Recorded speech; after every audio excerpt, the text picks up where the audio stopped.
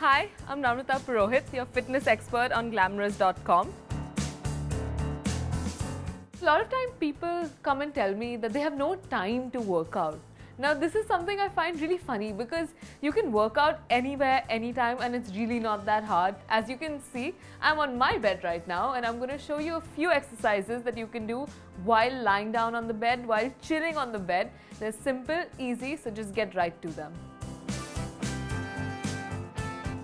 So the first thing I'm going to show you is a simple protraction retraction. That's basically the rounding and extending of the shoulders. This will help open up the muscles in the chest area and also strengthen the muscles around the shoulder blades. So just touch the ceiling, center, back and center.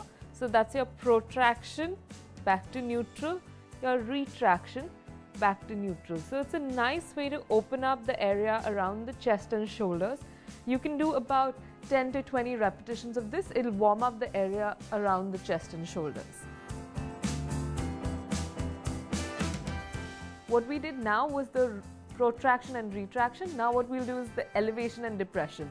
So you can just place your hands down by your side, walk your fingers towards your toes and then walk your shoulders or rather slide your shoulders up to your ears. It's like doing shrugs. So you take it down and up.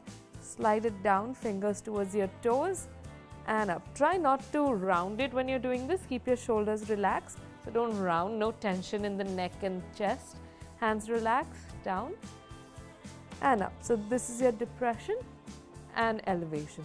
Again, you can do about 20 reps of these. Great for the shoulder muscles as it replicates the movement of the shrugs that we do maybe in the gym or somewhere else.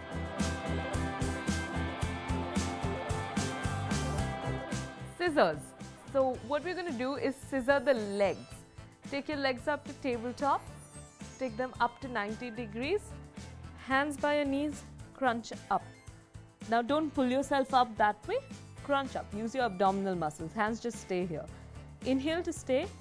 Exhale to pull one leg in and reach the other leg away. Inhale center. Pull, pull, inhale center. It's a pulse, pulse, inhale center. So you have to work your hip flexors and hamstring muscles to keep them nice and long. And center. Stay there on the inhale and exhale, come up. So you do about 20 reps again of the pulses. One leg coming in is one rep and then switch. So totally 10. So from here, I want you to turn over onto your stomach. We're going to work the back a little bit and also get into a little bit of arm work. Now, what I want you to do is called the swan dive. It's a lovely exercise for the back.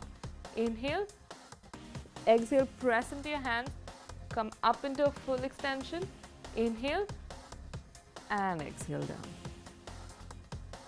Three to five reps of these is all you need. Don't forget the back muscles, they're equally important. You can do it anywhere, anytime. Always have fun when you work out. It's easy, it's simple to do. And stay tuned for many more on glamrs.com. And as I always say, kiss. Keep it safe, simple and smart.